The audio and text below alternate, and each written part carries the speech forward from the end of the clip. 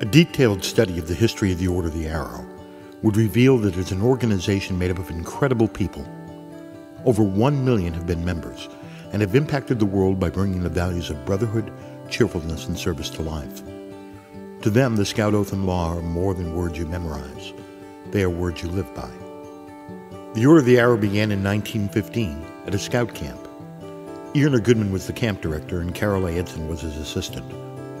Together, they developed a program whose purpose was to recognize those scouts who best lived up to the Scout Oath and Law. They could have never imagined that the program they started would grow beyond the shores of the Delaware River.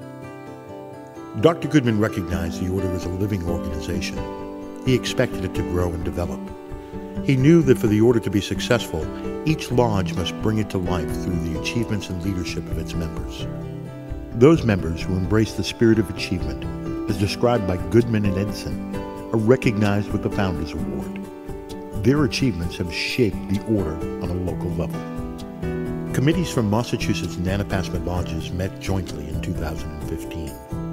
As Pennacook Lodge dawned, four Arrowmen were selected who not only distinguished themselves in their predecessor lodges, but also provided the energy and vision that created Pennacook. At this historical moment, they can clearly be recognized as founders who are creating the future for us all.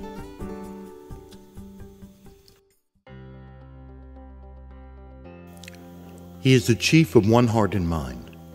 Matt McCarthy's distinguished service as an Arrowman from Massachusetts Lodge is significant. His enthusiasm for the Order and his advocacy for tradition has clearly illuminated his service. He has been the face of Massachusetts Lodge and the Boston Minuteman Council. Matt has served in a variety of positions in the Order, most notably serving as the chief. Matt developed and promoted fellowship activities and programs that put emphasis on membership involvement Making the order a fun experience is clearly important to him. He has served with distinction as a member of the T.L. Storer camp staff. On a section level, he led the 2015 Section Lodge Excellence Summit as its chairman, and he is currently the Section NE1 chief. In the last year, Matt was the principal youth leader from Massachusetts Lodge involved in the merger discussions. He focused much of the time editing lodge bylaws. True to form, he worked to preserve the best of Massachusetts and assuring that the new lodge would be fun. He is a mountainous leader.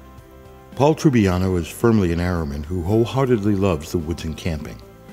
It was in the woods and in the mountains that Paul learned and developed his leadership skills. His footprints can be found all over New England scout camps.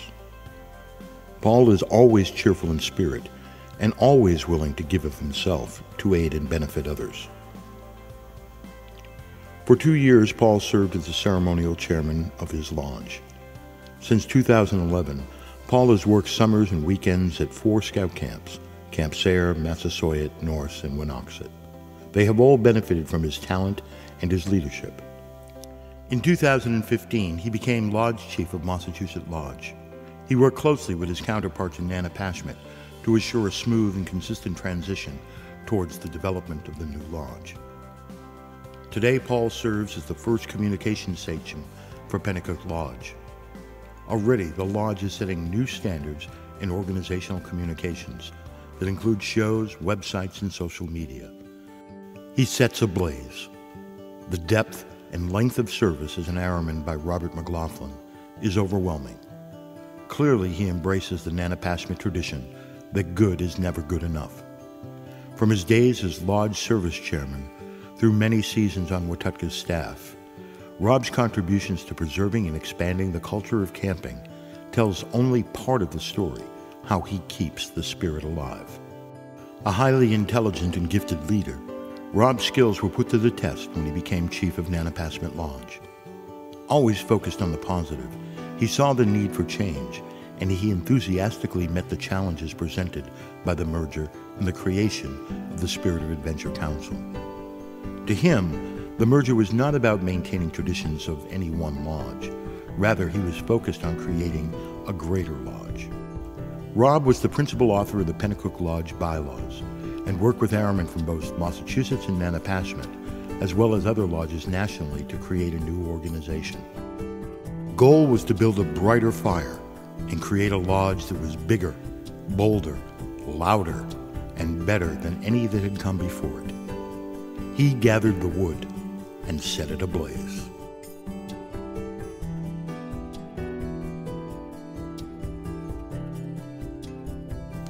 He has the courage to climb.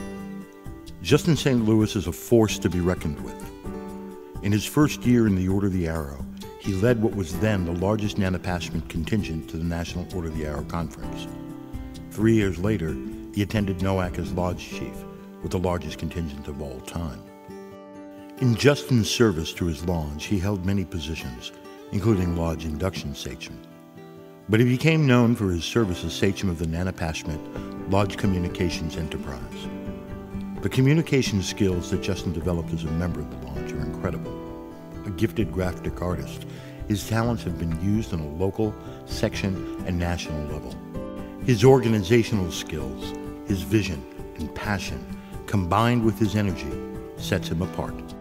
As powerful as was his experience in the Order, he is squarely focused on making it more significant for our newest youth members. Fittingly, as the first chief of Pennacook Lodge, Justin St. Louis will set a standard for all those who will follow. Never satisfied or complacent, he helped create the future and inspires us all to move forward as one.